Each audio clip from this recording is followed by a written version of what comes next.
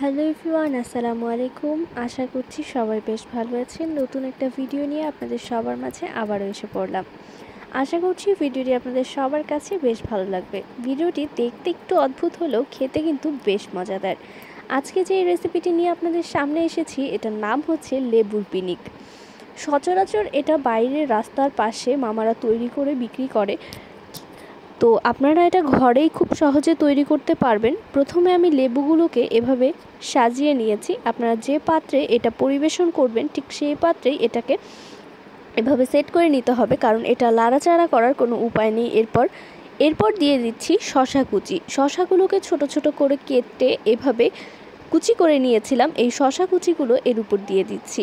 রেসিপিটা একটু অদ্ভুত লাগলেও কিন্তু খেতে অসম্ভব মজাদার। আমি নিজেও ভেবেছিলাম একটু অদ্ভুত লাগবে। এবার দিয়ে দিচ্ছি বিট লবণ পরিমাণ মতো।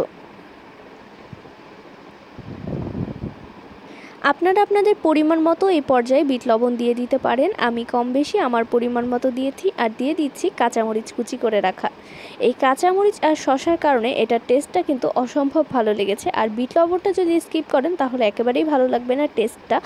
যেহেতু এটা লেবু, তাই এর মধ্যে একটু বিট লবণ আর যদি খাবার রেগুলার লবণটা ইউজ করা হয়, তাহলে বেশ ভালো লাগবে টেস্টটা।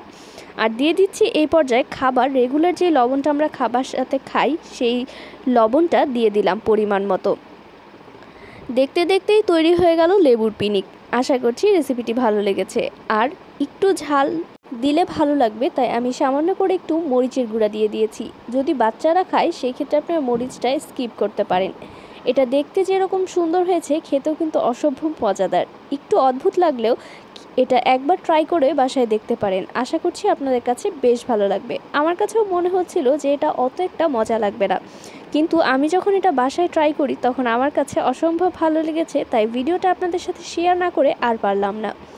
আশা করছি বাসায় ট্রাই করে আমাকে জানাবেন কমেন্ট করে কেমন লেগেছে আর যারা খেয়েছেন অবশ্যই কমেন্ট করে জানাতে পারেন আপনাদের মতামত। নেক্সটে কী ভিডিও দেখতে চান সেটাও কিন্তু কমেন্ট করে জানিয়ে দিতে পারেন। আজকের মতো এখানে বিদায় নিচ্ছি। আশা করছি আপনাদের কাছে এই লেবুর পিনিকের রেসিপিটি ভালো লেগেছে। পরবর্তীতে আবারও নতুন কোনো রেসিপি নিয়ে দেখা হয়ে যাবে। ততদিন ভালো থাকবেন, সুস্থ থাকবেন। আসসালামু আলাইকুম। আর আমার জন্য দোয়া করবেন যেন এরকমই মজার মজার ভিডিও নিয়ে আপনাদের সবার সামনে চলে আসতে পারি।